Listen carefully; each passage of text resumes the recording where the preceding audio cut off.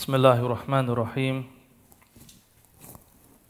إن الحمد لله نحمده تعالى ونستعينه ونستغفره ونعوذ بالله من شرور أنفسنا ومن سيئات أعمالنا. من يهده الله فلا مضل له ومن يضلل فلا هادي له. وأشهد أن لا إله إلا الله وحده لا شريك له. وأشهد أن محمدا عبده ورسوله. اللهم صل وسلم على عبدك ورسولك نبينا محمد وعلى آله وأصحابه أجمعين. اللهم علمنا ما ينفعنا وانفعنا بما علمتنا وزدنا علما. وأصلح لنا شأننا كله ولا تكلنا إلى أنفسنا طرفة عين.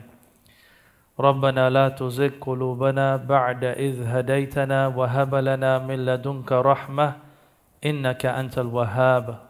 ربنا هب لنا من أزواجنا وذرياتنا قرة أعين وجعلنا للمتقين إماما So after thanking and praising Allah subhanahu wa ta'ala with the best of thanks and the praises that He deserves, testifying that there is none worthy of being worshipped in truth besides Him alone without any partners, further testifying that Muhammad sallallahu alayhi wasallam is His slave and His messenger.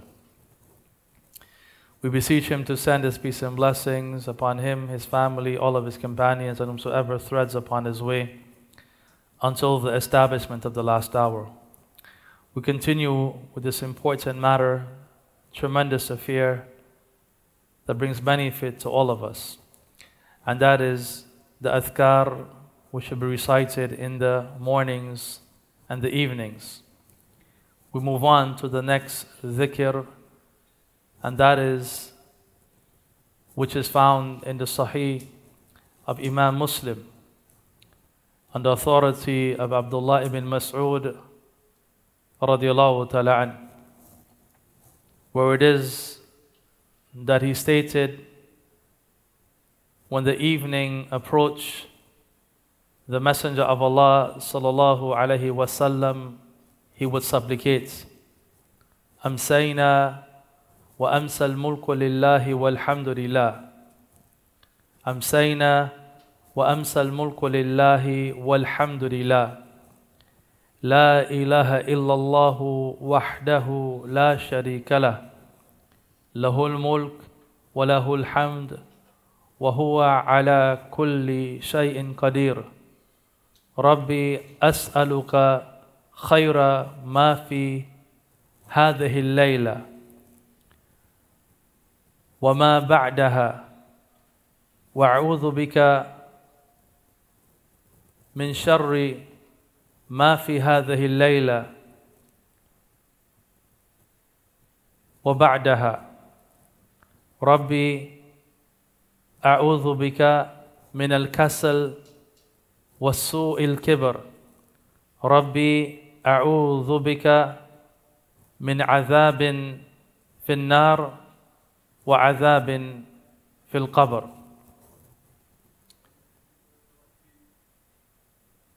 So the Prophet ﷺ, when it is that the evening approached, he will recite this supplication. We've reached the evening.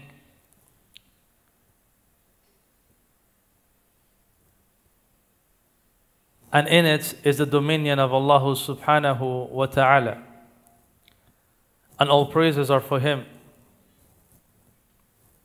There is no ilah deserving of being worshipped besides Him alone without any partners.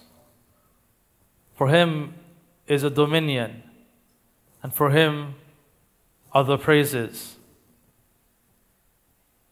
And He has control over every affair. O my Lord, I ask you for the good of what can be found on this night and the good that comes after it.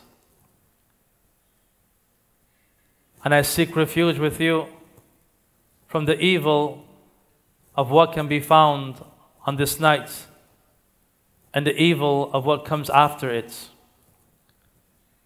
My Lord, I seek refuge with you from laziness and also from the evils of old age. O my Lord, I seek refuge with you from the punishment of the hellfire and the punishment of the grave. And on mornings, the wording will be changed instead of beginning by Amsayna wa amsal mulku lillahi walhamdulillah, it will be said Asbahna wa asbah al mulku lillahi walhamdulillah. The word Masa refers to the evenings, and the word Sabah refers to the mornings.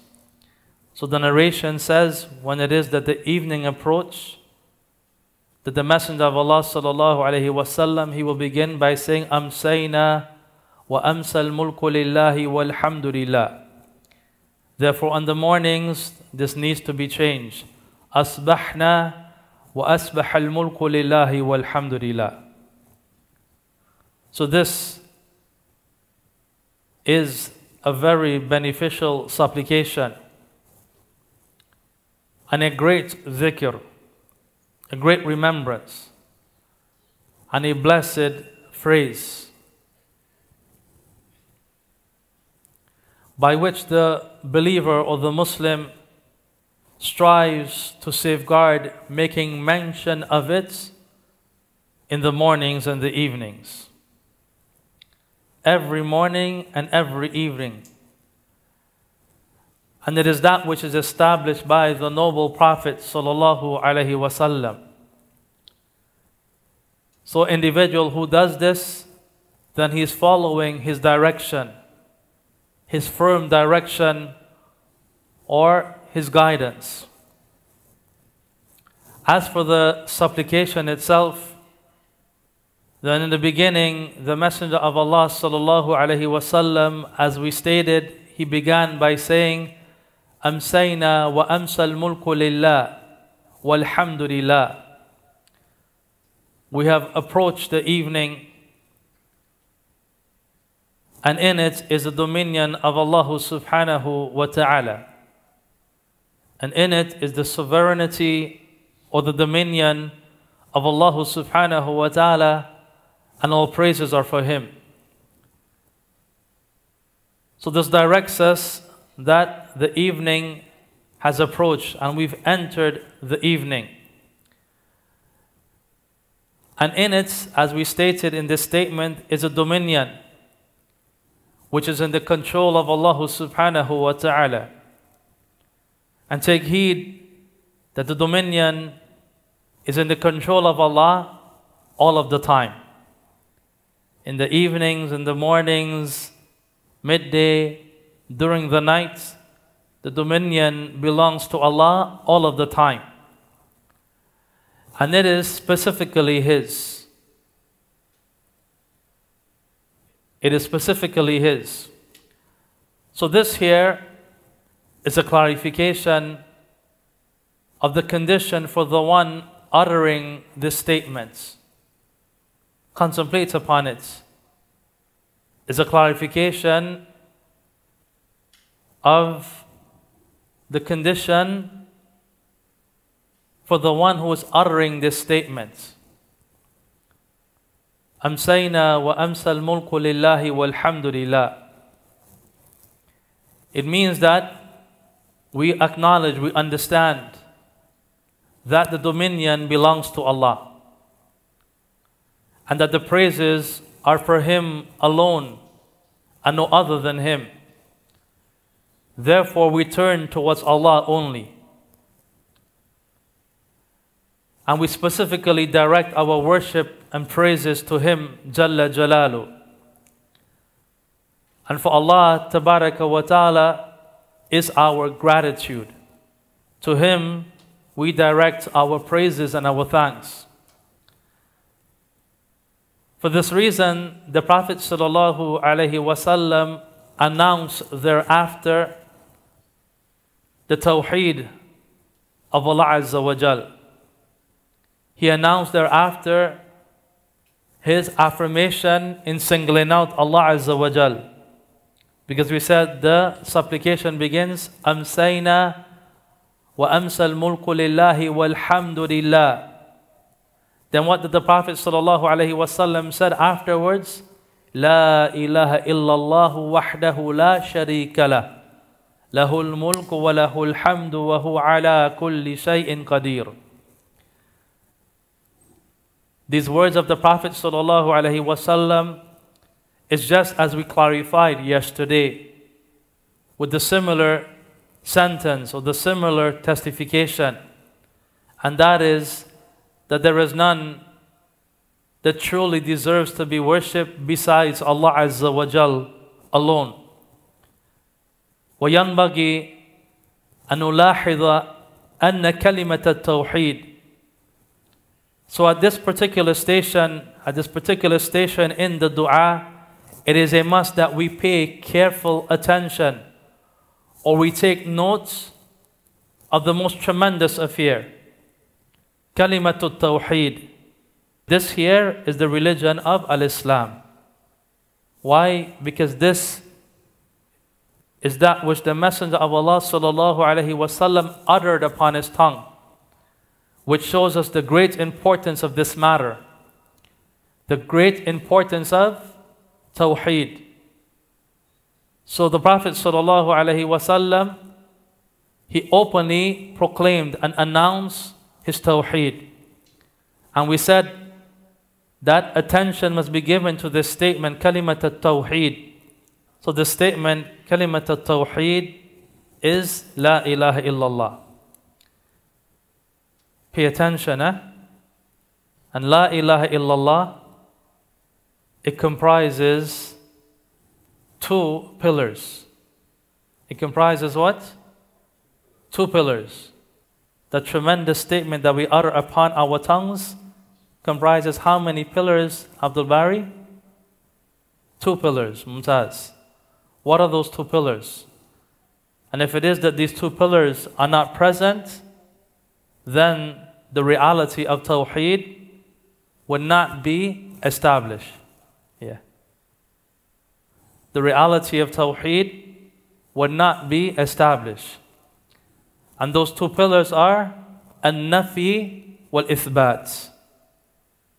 The two pillars of Kalimat al-Tawheed is An-Nafi wal-Ithbat. That is negation and affirmation. Pay extremely close attention to this matter. And nafi wal-ithbat. So when it is that we say la, which is what? Which means no. Good? We know that the kalima or the word la, it means no. So kalimat al-tawheed, it begins with la. Ilaha. Therefore we know that this is a what? It is nafi, it is a negation. It is a negation. So, what is being negated here? The negation of worship for every other being that is created. Again, La ilaha is nafi, it is negation. And that is a negation for every other thing that is worshipped. Then we have the next statement, which is what? Illallah. We said La ilaha is nafi, is a negation. Then after La ilaha comes what? Illallah. And this here is the affirmation. This here is ithbat.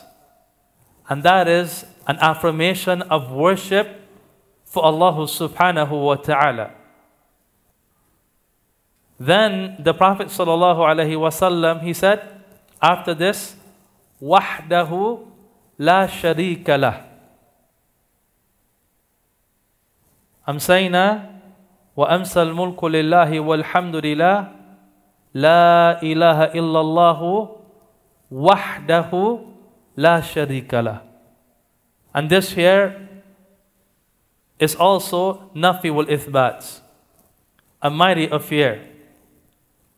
So after the first nafi wal ithbat, then there is a reaffirmation here in this statement. There is a reaffirmation here in this statement. Good? When it is that the Messenger of Allah sallallahu alaihi wasallam uttered wahdahu, then this is a reaffirmation of ithbat. A reaffirmation of what? To reaffirm. Meaning that Allah subhanahu wa ta'ala alone wahdahu is the one that should be worshipped. And then when it is that the statement La sharika la is uttered, then this here is a re utterance of negation. La sharika la. That there should be no polytheism or other deity which should be ascribed to Allah tabaraka wa ta'ala. So this here is ta'keed min ba'di ta'keedin. The first statement is a what? It is a reassurance. And then you have wahdahu la sharika la, which also reiterates the kalima at-tawheed.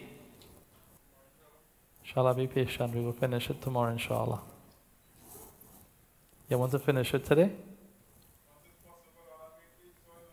No, we can't because we we will we'll go beyond the time that we supposed to to make use of.